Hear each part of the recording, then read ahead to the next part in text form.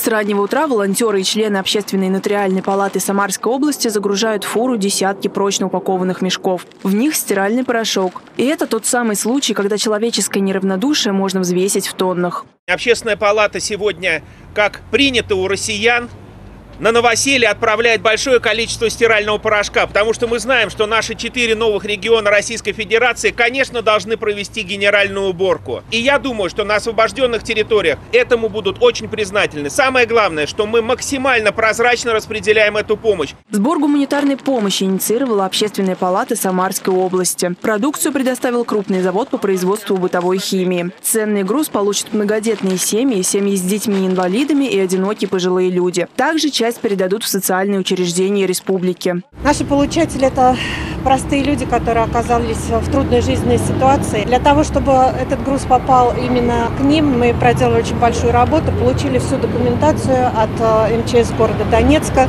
Э, надеюсь, что наш груз им поможет э, развиваться дальше, получать удовольствие от новой жизни. Гуманитарная помощь из Самары на Донбасс поступает регулярно. Регион изначально откликнулся одним из первых и поставляет продукты питания, одежду и медикаменты. Машине предстоит преодолеть более тысячи километров. Планируется, что к месту назначения груз доставят через два дня.